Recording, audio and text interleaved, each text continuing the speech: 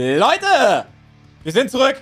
Splatoon 3 Online mit dem guten Miku am Start und Guten Tag. wir haben ein Thema vorbereitet für euch. Äh, sehr interessantes Thema. Wir werden heute über unsere Erfahrungen mit der Place, Play Pony Station 2 reden, also PlayStation 2. Ähm, ja, Miku, fang mal du Ja. an.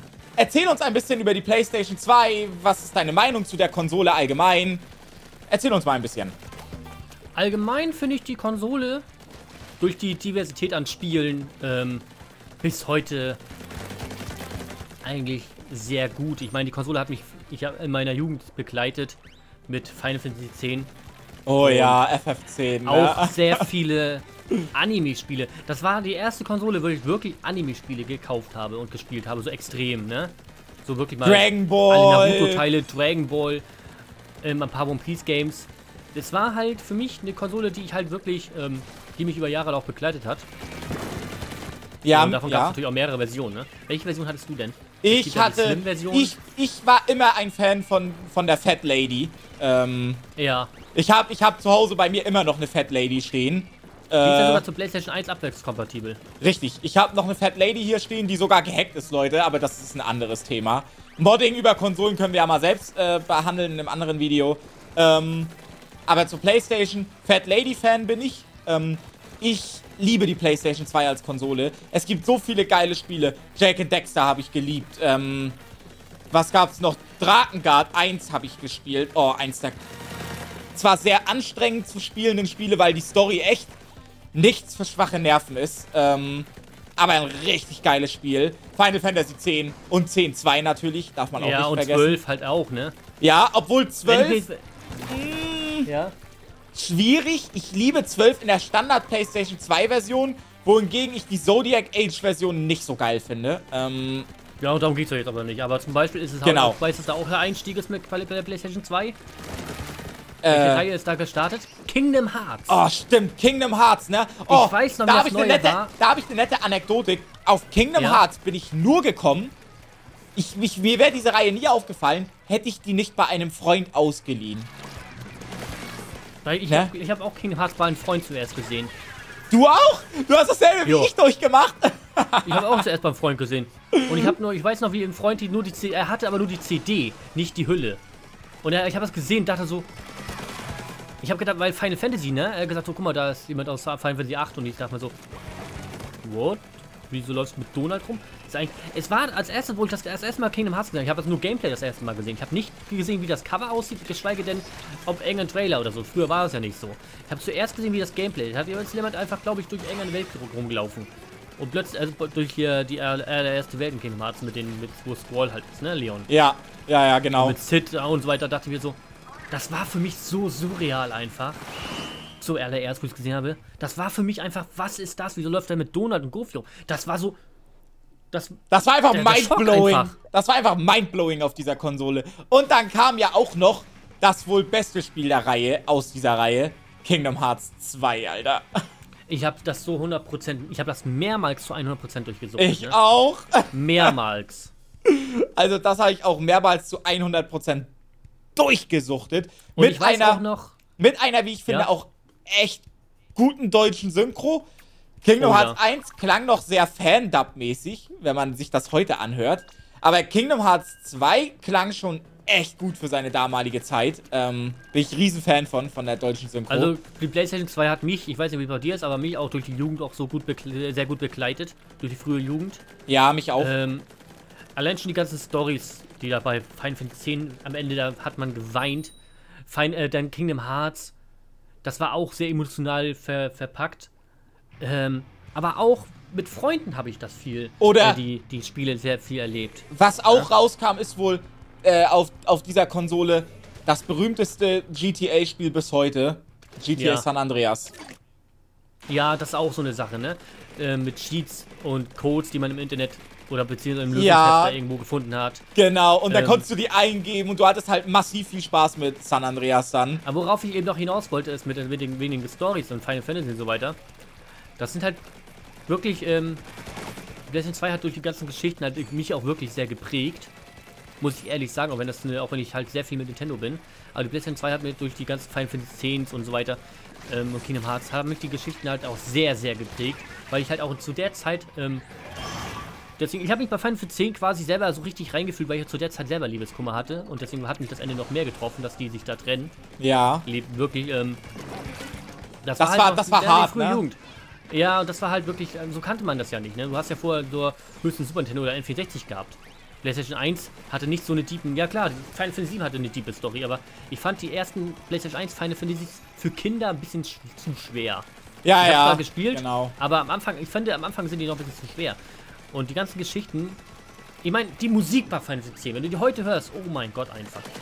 Oder halt. Das einzige, was ja. das toppt an der Musik, ist, meine ich, FF9. Es gibt kein Final Fantasy, was 10, glaube ich, vom Soundtrack her toppt. Also 10 war da schon massiv gut. Und ich glaube, 10 hatte, hatte 10 orchestralen Soundtrack? Ich glaube nicht, ne? Ja. Oder? Weiß ich nicht.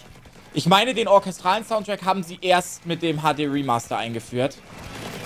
Naja, wie dem auch sei, ist ja nicht, ist ja nicht verwerflich, dass sie das so gemacht haben. Richtig. Aber du hast halt, ich hab, aber ich weiß nicht, hat dich die PlayStation 2 irgendwie so durch eine, durch eine, durch eine Zeit getragen, wo du dich noch gut, gut, gut rein erinnerst, was du sonst noch so gemacht hast, außer zu zocken? Ich weiß noch, dass ich mit viel mit Freunden halt auch gespielt habe. Ich weiß, dass ich weil, weil wir über Freunden halt Final Fantasy, über Final Fantasy 10 halt noch geredet haben über das Spiel. Wie man am besten irgendwelche äh, Sachen löst, weil man halt nicht jeder hat das Lösungsbuch, ne? Ähm ich glaube, mit, ich glaube, du erwähnst da schon das, was, was mir auch am meisten hängen geblieben ist. Die Zeit, die ich mit Freunden mit dieser Konsole verbracht habe.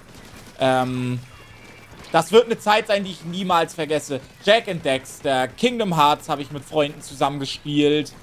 Ähm, Final Fantasy X hatte ich, glaube ich, alleine gespielt. Das ist aber auch eine nette Anekdote. Mein Vater hatte mir damals äh, Final Fantasy X, glaube ich, gekauft. Ähm, und ich habe es geliebt. Äh, oder als ich, ich glaube, Final Fantasy X das erste Mal gesehen habe, ich das Spiel in einem Kaufhaus, als, das, als die PlayStation 2 da ausgestellt oh, war. Ich weiß, ich weiß es gar nicht. Ich weiß, noch, ich weiß noch das Beispiel, dass ein Lied von Final Fantasy X 2, ne? Ähm, Meinst Final du 10.2 hat ja auch wirklich gute Musik. Meinst du 1000 Words Sound, zum Beispiel? Nee, nee, fahr nicht, nicht, nicht, nicht mit Vocal, sondern ein, ein Lied, ähm, was halt eher so melancholisch klingt. Ich habe das Namen vergessen. Bei Final Fantasy 10.2. Ah, ist ja auch völlig Wurst. Du meinst Real, äh, Real Emotion am Anfang nein. wahrscheinlich der Startscreens, oder? Nein, nein, nein, nein, nein. Nee, nee, nee. Es ist halt eher ein ruhiges Hintergrundlied. Ah, okay. Nicht, okay. nichts mit gesungen. Nichts, da wird nichts Nein, gesungen. nein, bei Real. Das bei, bei Real Emotion, wenn du das Spiel startest, wird auch nicht gesungen. Es ist reine Hintergrundmusik. Nee, nee, nee, das meine ich nicht. Okay. Das meine ich nicht. Das kennt, das würde ich, das würde ich wissen, wie das heißt. Okay. Ich weiß nur nicht, wie das heißt. Ähm, irgendwas mit Kalm, also irgendwas Beruhigendes. Und okay. eher so melancholisches, sage ich mal so. Das Lied zum Beispiel erinnert mich an meinen ehemal, also an meinen damaligen, zu der Zeit, den ich hatte, besten Freund, zum Beispiel. Ja, chillig. Cool. Krass, oder? Wie, das ist halt die Musik der PlayStation 2-Ära, ne? Ich weiß auch noch, wie, wie, wie ich mit Kumpels damals ähm, bei jemand, bei jemand mit immer Budokai Dragon Ball gegeneinander gekämpft habe. Das war ja auch zu der Zeit. Budokai 3, ne? Oder wie ich jemand mit, mit Nachbarn ähm, diskutiert habe.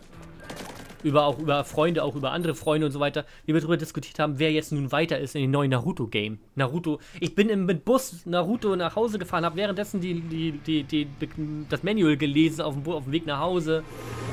Ah. Geil. Weißt du, wie ich, Einfach geil. Wir haben, uns drüber, wir haben uns drüber gestritten, wer jetzt nun weiter ist. Und der andere so, ich habe den Hokage der vierten Generation freigeschaltet in Naruto Storm 2. What? Ja, ja. Sowas ja, halt, genau. halt, ne? So, genau, sowas. Ah. An sowas erinnere ich mich auch, aber ich habe eher keine Anime-Spiele Heute weißt du ja sowas schon vor Release. Genau. Die Charaktere, wer vorkommt.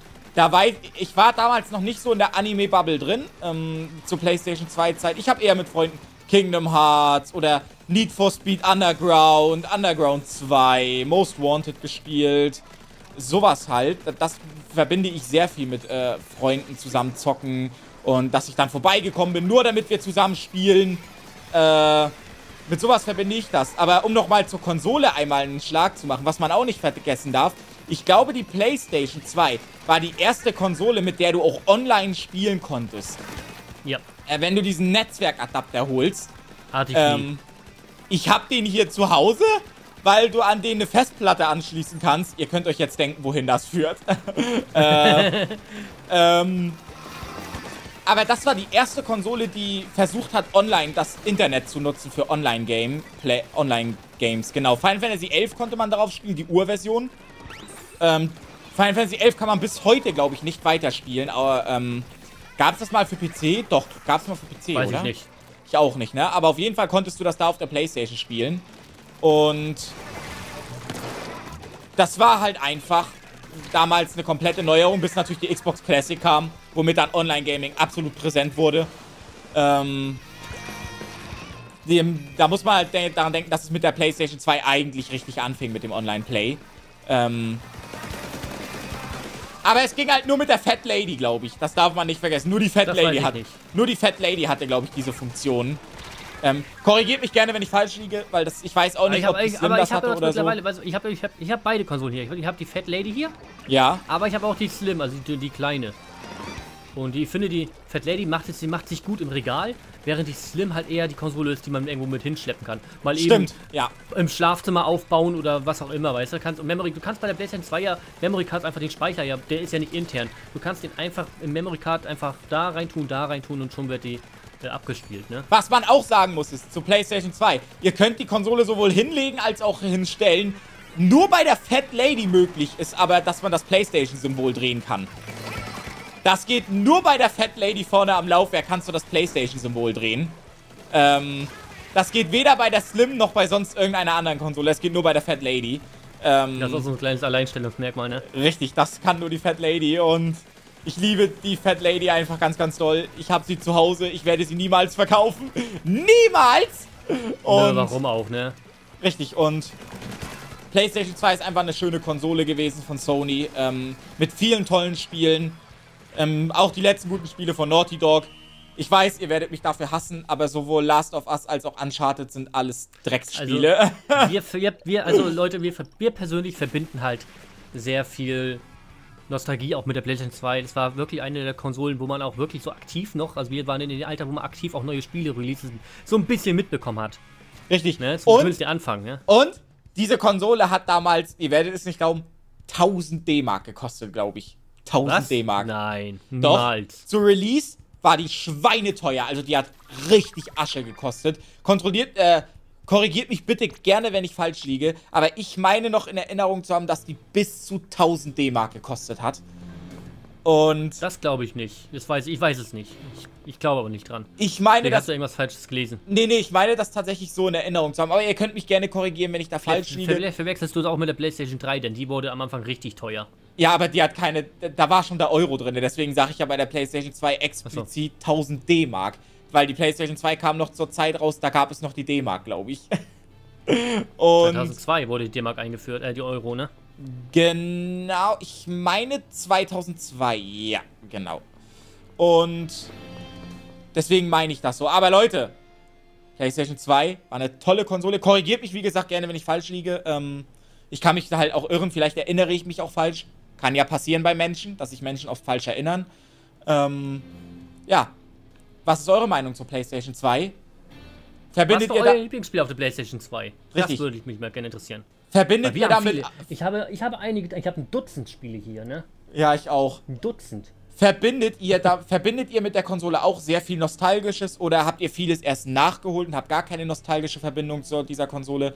Schreibt es uns in die Kommentare. Das war's aber von uns. Äh, wir bedanken uns bei euch fürs Zuschauen. Liked unsere Videos, abonniert unsere Kanäle. Würde uns freuen und wir sehen uns im nächsten Splatoon-Video wieder. Bis dann. Ciao.